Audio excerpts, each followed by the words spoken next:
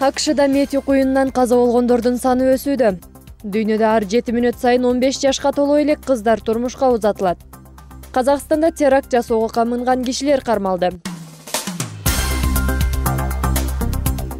акш бир нече күнгө созулган табият кырсыгынын кесепеттерин жоюу иштерин баштады бир топ штаттарды кыйраткан метиу куюну жыйырмадан ашуун кишинин өмүрүн алган куткаруучулар каза болгондордун саны дагы да өсүшү мүмкүн деп эскертишүүдө учурда бийлик тараптан жабыркаган аймактарга жардам көрсөтүүлөр башталды ошондой эле куткаруу иштери да улантылып жатат.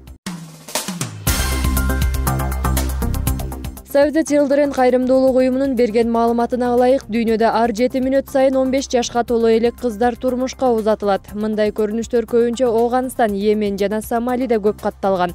Докладда турмушка чыккан кыздардын эң кичүүсү он жашта деп жазылган. Көпчүлүгү үй бүлөлүк шарттарына байланыштуу кыздарды эрте күйөөгө берүүгө аргасыз болушат.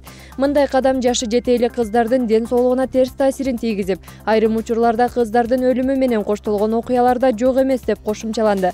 Аталган уюм жашы жете элек өспүрүмдөрдүн укугун коргоо үчүн атайын чара колдонуу зарыл экенин эскертти казакстан улуттук коопсуздук комитети радикалдуу топтордун мүчөсү делген үч кишини кармады. Атайын кызматтын маалыматы боюнча шектүү жарандар күч түзүмдөрүнө карата террордук акт уюштурууга даярдык көрүшкөн деп айыпталууда. Аларды улуттук коопсуздук кызматы онунчу октябрда алматыда кармады. Маалымдалгандай шектүү жарандардан колго жасалган жардыргыч заттар жана детонаторлор ошондой эле экстремисттик мүнөздөгү материалдар алынган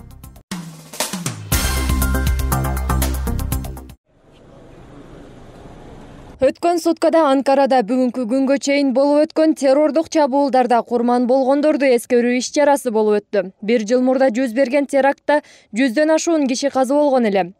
Эскерүү иш чарасына анкаранын губернатору келип сөз сүйлөп ал өз билдирүүсүндө өлкө аймагында өзгөчө абал жарыяланган маалда нааразылык акцияларына жана мыйзамга жатпаган иш чараларды өткөрүүгө тыюу салынсын деп ачыктады.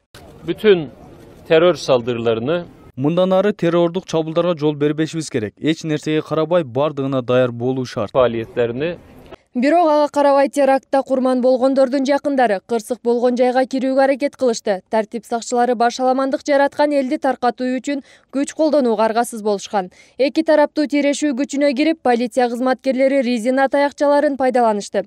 Жыйынтыгында теракт катталган жерге саналуу гана кишини киргизишти.